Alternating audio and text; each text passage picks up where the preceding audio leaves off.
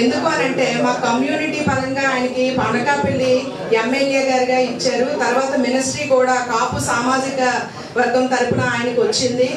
చాలా సమస్యలు అనకాపల్లిలో ఉన్నాయి. నెక్స్ట్ పవన్ కళ్యాణ్ గారిని టార్గెట్ చేసి మాట్లాడుతున్న మాటలు మా వీర మహిళలకి జన సైనికులకి చాలా బాధాకరం వేసిందండి.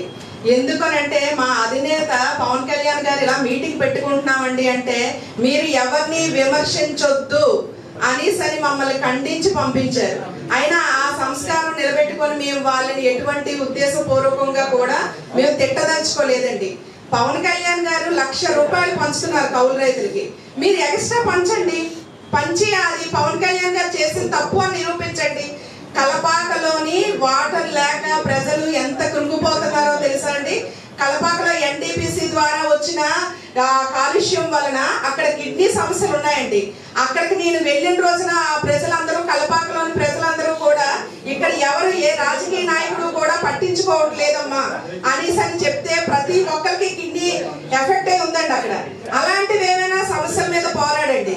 కలపాక నిజంగా చాలా దారుణంగా ఉందండి. అక్కడ ఒక అబ్బాయి చందు అన్న అబ్బాయి ఎన్నిసార్లు ఫేస్బుక్లో పెట్టాడంటే ఆ సమస్య గురించి ఒక్క నాయకులు కూడా స్పందించలేదు అలాంటివి ఏమైనా చెయ్యండి కౌలు రైతులకి పవన్ కళ్యాణ్ గారు చేస్తున్నారు. మీరు ఇంకొక సంస్థ మీద పోరాడండి.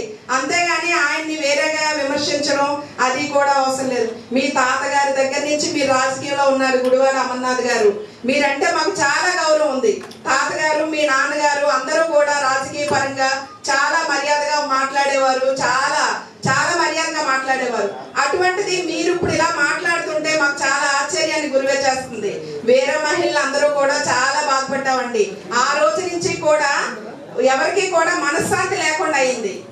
కాబట్టి కొద్దిగా మీరు మాట్లాడేటప్పుడు మటుకు ఏదైనా సమస్య మీద మాట్లాడండి. నిరుద్యోగులుగా ఉన్నారు. చాలా మంది కూడా ఉద్యోగాలు లేక చాలా మంది చదువుకొని ఉద్యోగాలు లేక చాలా నిరుద్యోగ సమస్యలతో పోరాడుతున్నారు. అటువంటి సమస్య మీద మీరు మాట్లాడండి. ఇంకా ఏమైనా పవన్ కళ్యాణ్ గారు ఎక్కడి నుంచో డబ్బులు తెచ్చి పంచట్లేదు. ఆయన స్వయంగా ఆయన కష్టార్జితం పంచుతున్నారు ఏ రాజకీయ నాయకుడైనా సరే ఒక్క రూపాయి ప్రజలకు ఇప్పుడు వరకు చేసిన పాపాలు పోయారండి పవన్ కళ్యాణ్ గారు ఆగిపోతారు. సరే కౌలు రైతుగా మీరు పంచుతారా? చెప్పండి. పవన్ కళ్యాణ్ గారు ఇప్పుడే ఆగిపోమని చెప్తాం. మరి కౌలు రైతులకు పంచుతారా మీరు? ఆ సమస్య మీద పోరాడండి సార్. మీరు ఇటువంటి మాటలు ఇంకెప్పుడు కూడా మాట్లాడొద్దని చెప్తున్నాను సార్.